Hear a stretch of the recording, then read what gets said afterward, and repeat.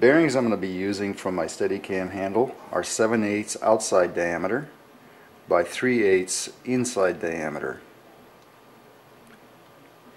They fit within the uh, Delrin bearing block on both ends.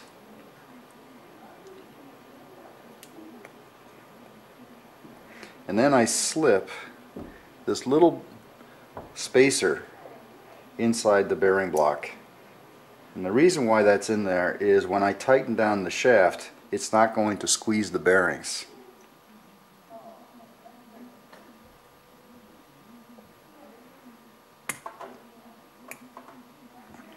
Okay. Now,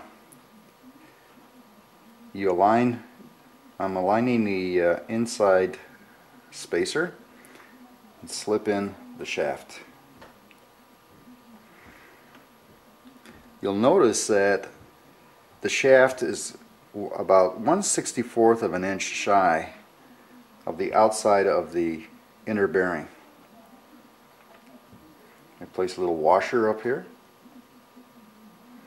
and then put an 832 screw, tighten it down.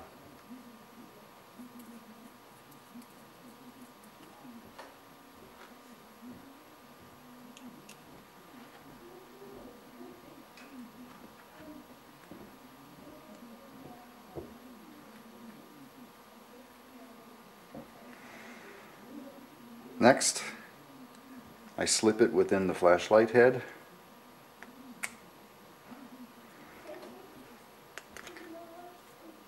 and put the other part of the flashlight in and to hold the uh, bearing block.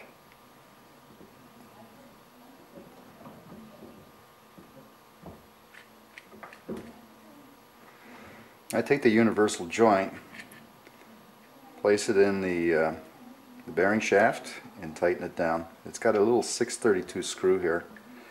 The uh, 632 screw screws down below the surface of the shaft.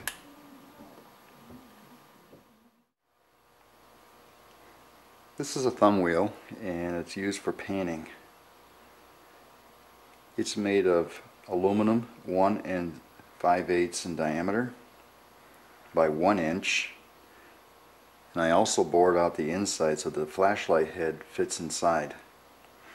On the outside I made a groove and put a uh, an O-ring which makes it easier to manipulate while panning. It's held in place with a 832 set screw. Okay now I'm going to slip the universal joint through the hole at the top of the thumb wheel. Bring it all the way down. And tighten it down using this, the set screw.